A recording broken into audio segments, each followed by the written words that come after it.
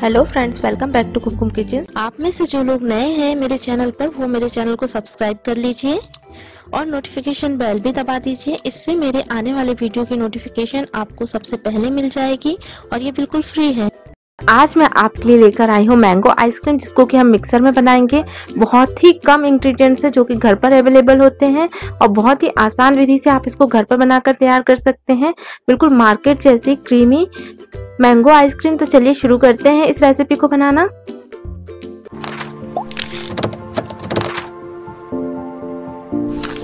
तो इसके लिए मैंने यहाँ लिए हैं दो आम।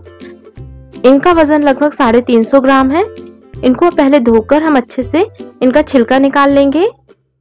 तो आप पहले इनका छिलका निकाल लीजिए और हमें इसका पल्प चाहिए तो मैं छिलका निकालकर इसको टुकड़ों में काट लूँगी।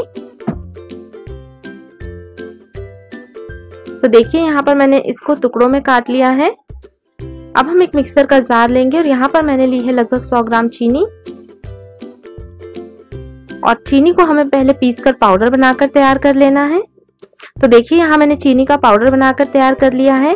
अब इसमें हम कटे हुए आम के जो टुकड़े हैं, उनको डाल देंगे। यदि आपका आम ज़्यादा मीठा नहीं है तो आप चीनी की मात्रा को बढ़ा सकते हैं।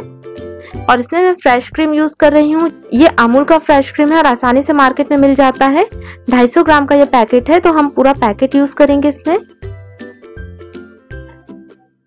और अब हम इसमें डालेंगे दो बड़े चम्मच, यहाँ मैंने लिया है मिल्क पाउडर इससे बहुत ही अच्छा फ्लेवर हमारी आइसक्रीम को मिलता है।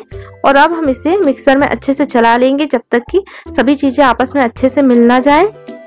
तो देखिए बहुत ही स्मूथ आइसक्रीम हमारी बनकर तैयार होगी बहुत ही क्रीमी आइसक्रीम हमारी बनेगी। और इसमें किसी भी तरीके का हमने एसेंस या कलर का यूज़ नहीं किया है। इसका नेचुरल कलर है और नेचुरल इसका फ्लेवर रहेगा। तो अब हम एक बॉक्स में डालकर इसको सेट करने के लिए रख देते हैं। इसको मैंने एक बॉक्स में डाल दिया है और इसे ऊपर से अच्छे से फैला लेंगे, जिससे कि ये सभी तरफ़ से एक समान हो जाए। और इसे हम थोड़ा सा टैप कर लेते हैं, जिससे कि इसमें कोई बबल ना रहे। अब हम इसे एक एल्युमिनियम फॉइल से ढक देंगे। एल्युमिनियम फॉइल से ढकने से इसके अंदर बर्फ़ के क्रिस्टल नहीं जमेंगे। और अब हम इसका लिड लगा देते हैं। और इसे हम फ्रीजर में रखेंगे तीन से चार घंटे के लिए या आप ओवरनाइट के लिए भी इसे छोड़ सकते हैं। देखिए, तीन से चार घंटे के बाद में हमारी जो आइसक्रीम है बहुत ही बढ़िया सेट हुई है।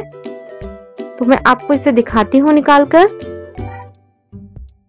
देखिए, बहुत ही अच्छी हमारी आइसक्रीम जो है, तैयार हुई है। इसे मैं आपको निकाल कर दिखाती हूँ। वो बहुत ज़्यादा ये हार्ड भी नहीं है और बहुत सॉफ्ट भी नहीं है। बहुत ही अच्छा क्रीमी टेक्सचर इसका आया है। और खाने में भी ये बहुत टेस्टी और क्रीमी लगेगी। तो देखिए, कितना अच्छा टेक्सचर हमारी आइसक्रीम का आया है। तो आप इसी तरीके से इसे घर पर बनाकर तैयार कर सकते हैं। बहुत ही आसानी से मिक्सर में ये बनकर तैयार हो जाएगी। और यदि आपको मेरा यह वीडियो अच्छा लगा हो तो लाइक ज़रूर कीजिएगा। अपने फैमिली फ्रेंड्स और सोशल मीडिया पर शेयर करना ना भूलें। कमेंट्स करके बताइएगा आपको मेरी ये रेसिपी कैसी लगी और आपने इसे घर पर ट्राई किया। आपको इसका फ्लेवर कैसा लगा? और मेरे चैनल को सब्सक्राइब करना ना भूलें विथ नोटिफिकेशन बेल तो मिलते हैं नेक्स्ट वीडियो में एक नई रेसिपी के साथ। तब तक लिए बाय